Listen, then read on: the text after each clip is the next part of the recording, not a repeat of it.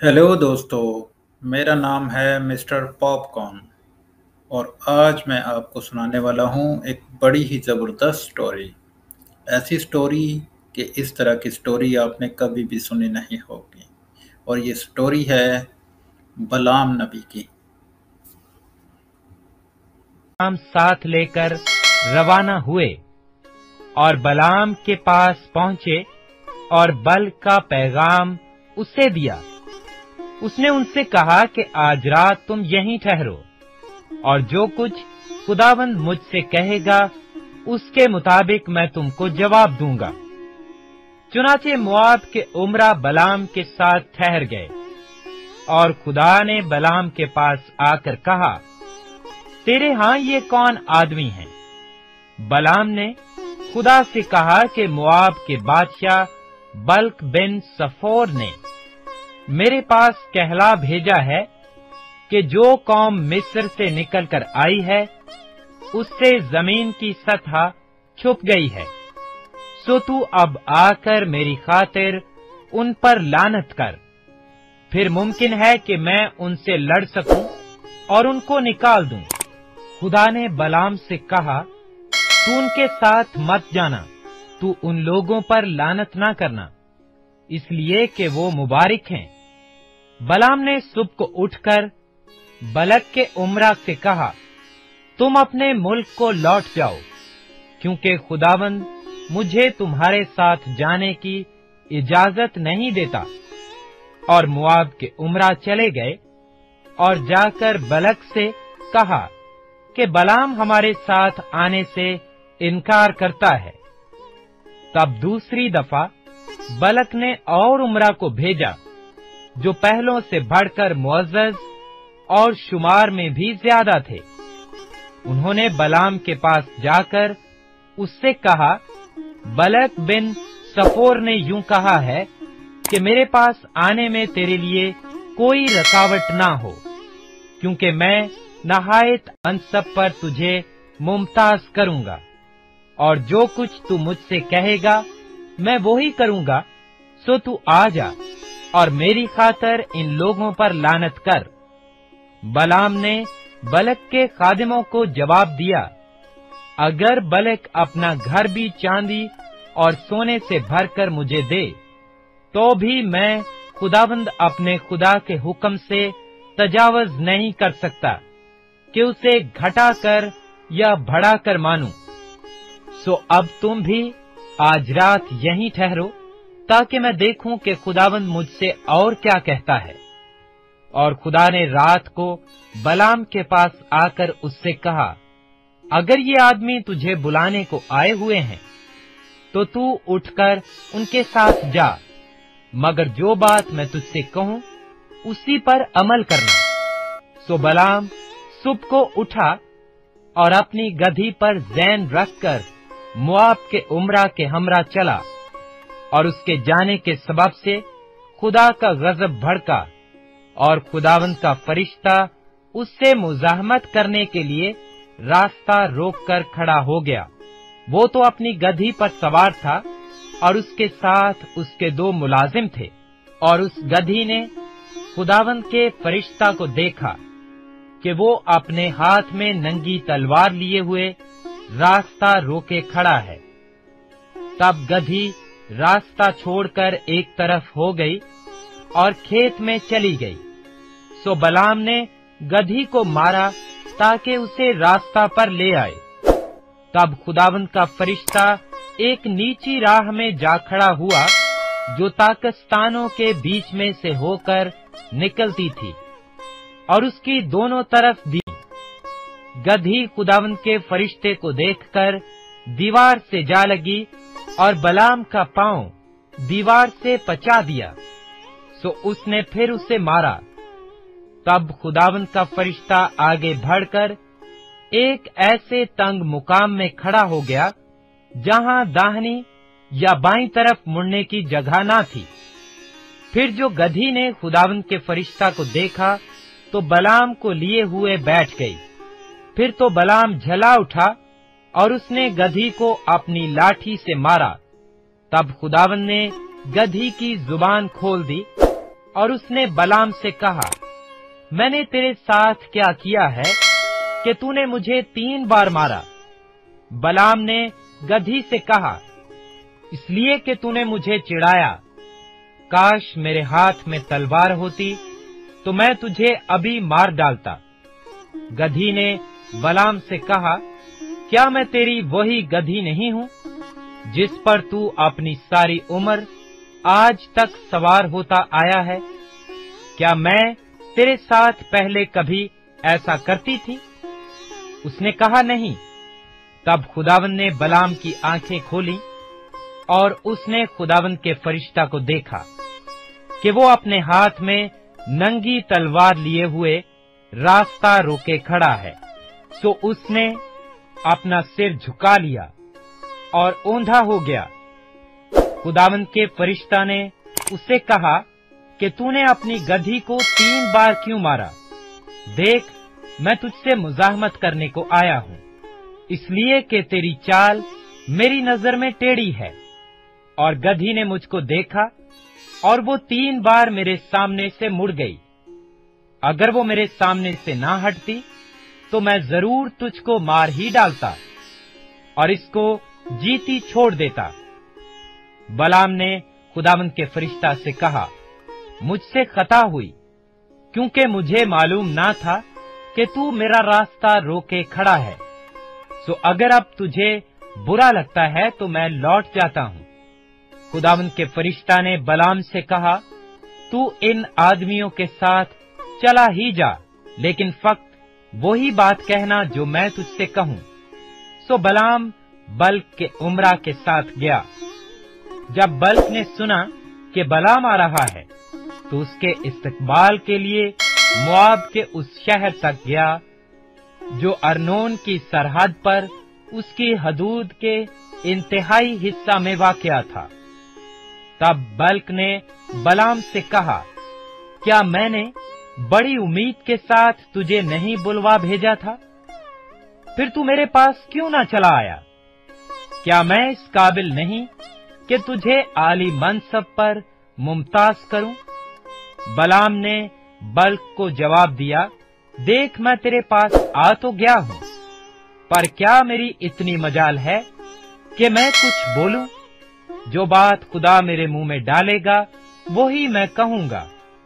और बलाम बल्क के साथ साथ चला और वो करियत के साथ में पहुँचे। बल्क ने बैल और भेड़ों की कुर्बानी गुजरानी और बलाम और उन उमरा के पास, जो उसके साथ थे, कुर्बानी का गोश्त भेजा। दूसरे दिन सुब को बल्क बलाम को साथ लेकर उसे बाल के बुलंद मुकामों पर ले गया। बलाम ने बलक से कहा कि मेरे लिए यहाँ सात मजबे बनवा दे, और सात बछड़े और सात मेंढे मेरे लिए यहाँ तैयार कर रख। बलक ने बलाम के कहने के मुताबिक किया, और बलक और बलाम ने हर मजबा पर एक बछड़ा और एक मेंढा चढ़ाया। फिर बलाम ने बलक से कहा, तू अपनी सोख्तनी कुर्बानी के पास खड़ा रह और मैं जाता हूँ। मुमकिन है कि खुदावंद मुझसे मुलाकात करने को आए। सो जो कुछ वो मुझ पर ज़ाहिर करेगा, मैं तुझे बताऊँगा। और वो एक बरहना पहाड़ी पर चला गया और खुदा बलाम से मिला। उसने उससे कहा, मैंने सात मजबे तैयार किए हैं और उन पर एक एक बछड़ा और एक एक मैंडा चढ़ाया है।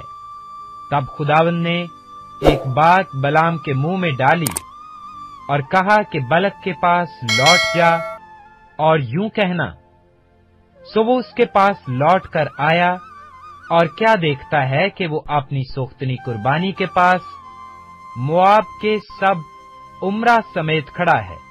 तब उसने अपनी मिसल शुरू की और कहने लगा बलक ने मुझे एराम से, यानी शाह मुआब ने मशरक के पहाड़ों से बुलवाया कि आजा और मेरी खातिर याकूब पर लानत कर। आ, इसराइल को फटकार। मैं उस पर लानत कैसे करूँ जिस पर खुदा ने लानत नहीं की? मैं उसे कैसे फटकारूं?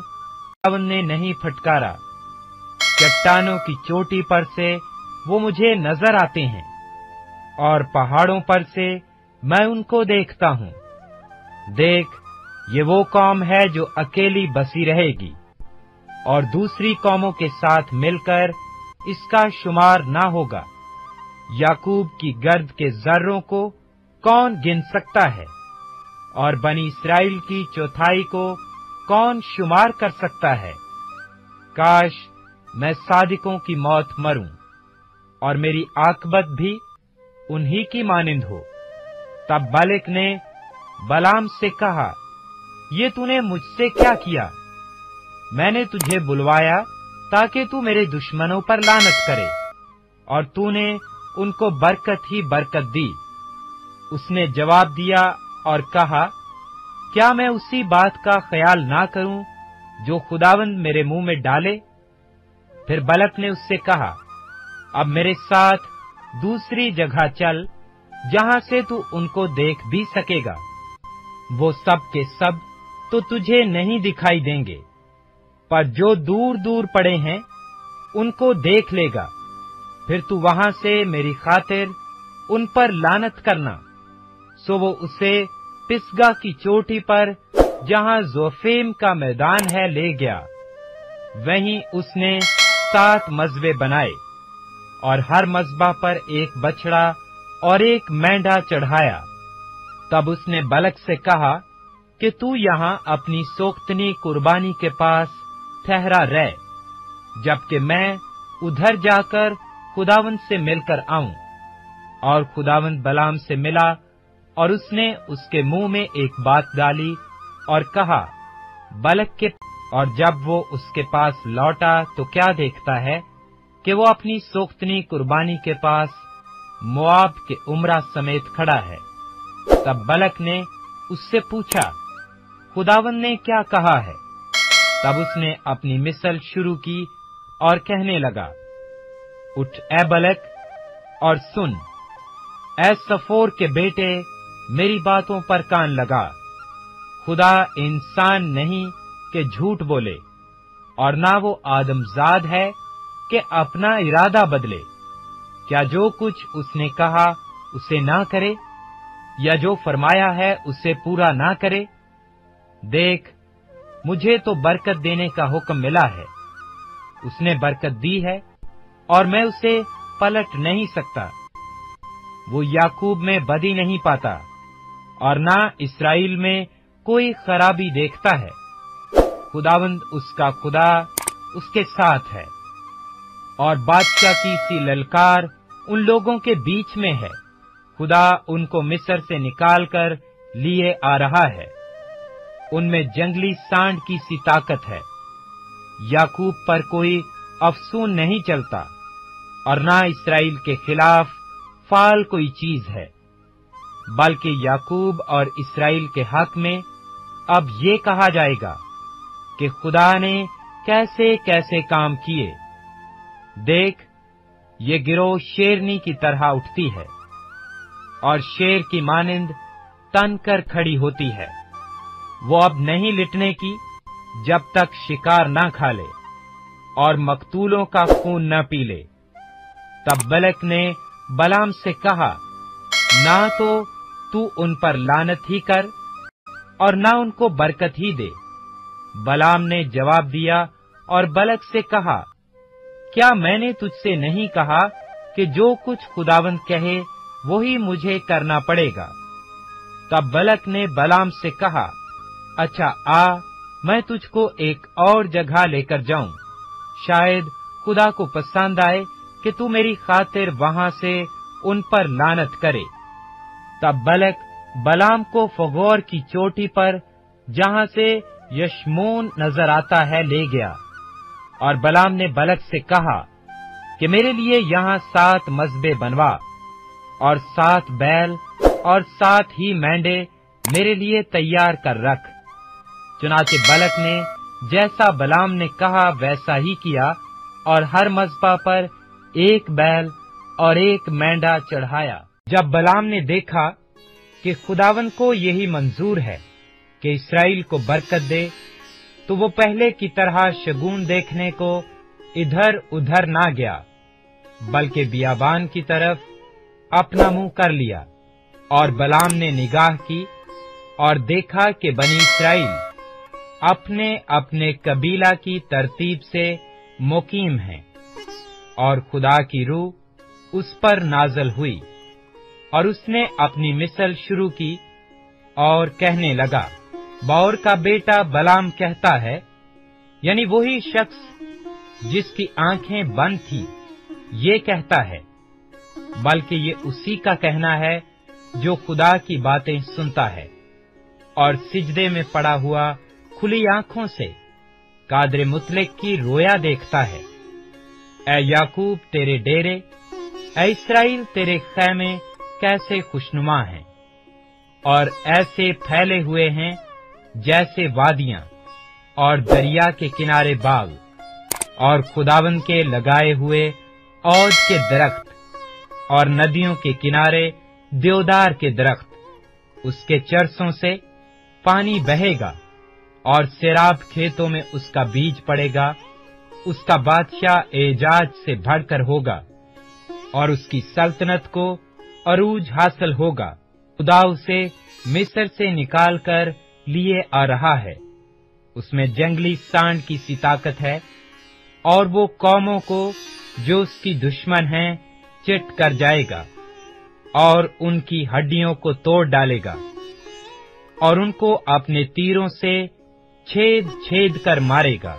वो दबक कर बैठा है, वो शेर की तरह, बल्कि शेरनी की मानंद लेट लेट गया है।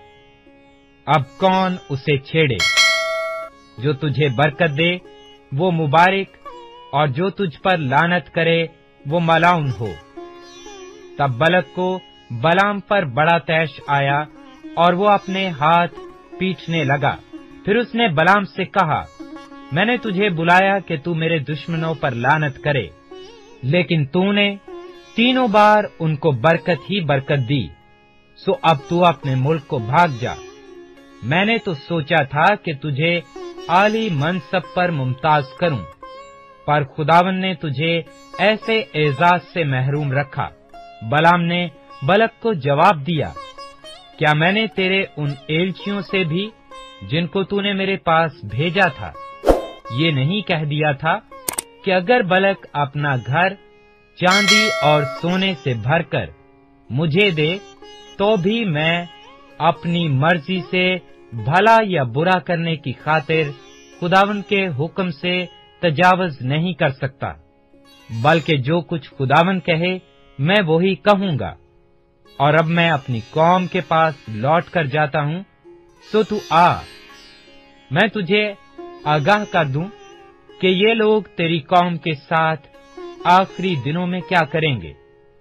चुनाचे उसने अपनी मिसल शुरू की और कहने लगा, बौर का बेटा बलाम कहता है, यानी वही शख्स जिसकी आँखें बंद थीं ये कहता है, बल्कि ये उसी का कहना है जो खुदा की बातें सुनता है और हक ताला का इरफान रखता है और सिजदा में पड़ा हुआ खुली आँखों से कादर मुतलिक की रोया देखता है। मैं उसे देखूँगा तो सही, पर अभी नहीं, वो मुझे नज़र भी आएगा पर नज़दीक से नहीं।